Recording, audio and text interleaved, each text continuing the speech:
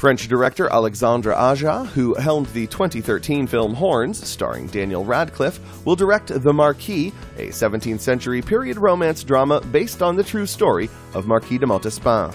Aja also wrote the script for the project, which is based on Jean Teulé's novel Le Montespan.